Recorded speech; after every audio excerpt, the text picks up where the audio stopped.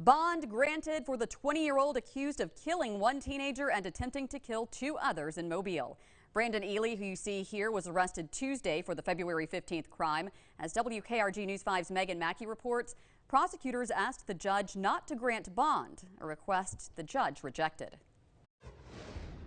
Yeah, Brandon was arrested more than two months after this alleged incident. He's being charged with murder and two counts of attempted murder, but his defense attorney argues he had nothing to do with this. It took them this long to arrest somebody, so I don't know how sure they are of anything at this point. Brandon Ely had his first virtual court appearance where he was granted a $475,000 bond for the charges he's facing, including murder, two counts of attempted murder, and shooting into an occupied vehicle. The state asked for no bonds, but when the judge rejected that, they requested the highest bonds be given, which would have been $1.5 million on the murder charge. I respect Judge Moore. I respect his opinion. Obviously, I think that bonds are designed to make sure people show up for court.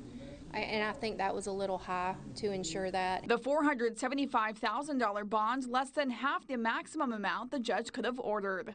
The incident in question stems from February 15th when police say Brandon shot and killed 19 year old Keith Fredericks near an apartment complex on Cottage Hill Road. Two others were injured, and the state says more than 30 rounds were fired in what is described as an ambush. My client is innocent. He maintains his innocence. Uh, this the state's responsibility to prove him guilty, and we'll see whether they can do that or not. Now, his arraignment has been set for next Tuesday, May 3rd. Reporting in Mobile, Megan Mackey, WKRG News 5.